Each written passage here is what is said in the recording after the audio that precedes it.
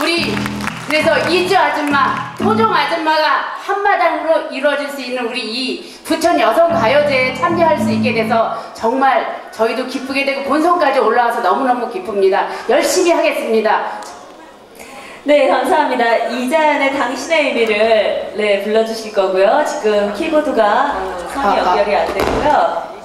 어, 스테파니, 스테파니, 스테파니, 안녕.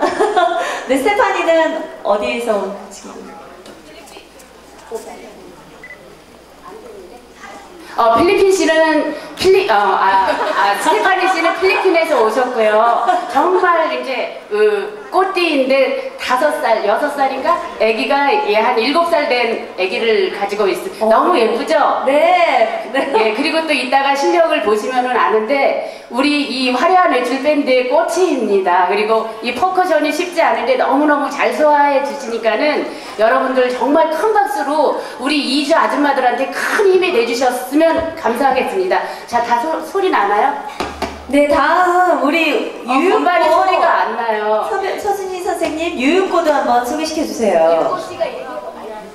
마이크 되나요? 아, 아, 예. 네. 어디서 안녕. 오셨어요, 유윤고? 아, 저 오사카에서 왔습니다. 어, 오사카. 네. 어떻게 자녀분은?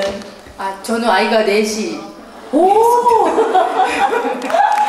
맞습니다. 딸, 딸은 오늘 저기 스텝으로 같이 예, 도와주러 왔습니다. 네, 화이팅 하세요. 예, 오늘 그리고- 요식고. 요식고, 안, 예, 어떻게, 자녀분은? 한 살? 아니 한 자녀분은 한 명이 있고요. 네. 어, 늦게 애를 둬가지고 지금 이제 초등학교 2학년입니다. 3학년이요.